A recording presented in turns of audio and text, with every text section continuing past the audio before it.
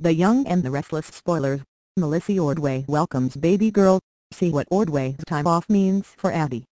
The Young and the Restless Y and R spoilers revealed that one CBS soap star just got an early Christmas present.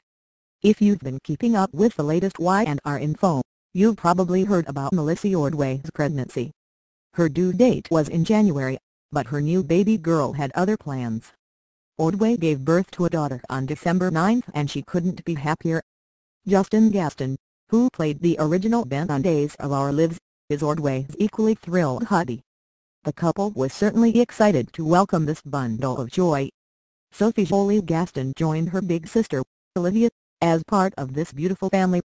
In an Instagram post, Ordway shared a sweet picture of Sophie along with a caption about the new addition.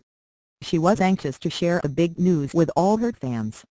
Ordway said, Christmas came early in the Gaston house. Welcome to the world Sophie Jolie Gaston. She surprised us on Saturday, 12 9 at 10.38 a.m. waiting in at a tiny 5 lbs 5 huz. Thankfully, Mom and Sophie are doing well. Ordway assured anybody who might be worried about Sophie's early debut. We are all doing great, Ordway said. We are so in love.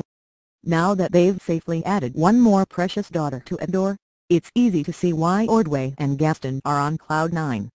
Naturally, Ordway will need some time away from the Y and R set to recuperate and spend time with Sophie.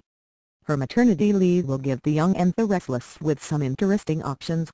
There's a chance that they'll just pretend Abby's in town and phase her out of the current stories until Ordway gets back. Since Abby and Scott's Daniel Hall cheating scandal is almost ready to spread, Abby might choose to make herself scarce until everything blows over.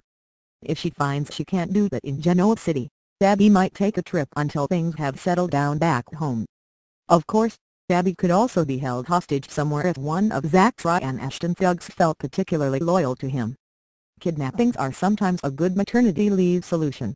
Whatever the case, we always wish Ordway the best and look forward to her return to set. How do you think Y and R will handle Ordway's time off? Are you ready for the fallout of Scott and Abby's fling? The Young and the Restless spoilers say the action's about to heat up, so stay tuned. We'll give you updates as other details emerge. Stick with the CBS soap and don't forget to check CDL often for the latest Young and the Restless spoilers, updates and news.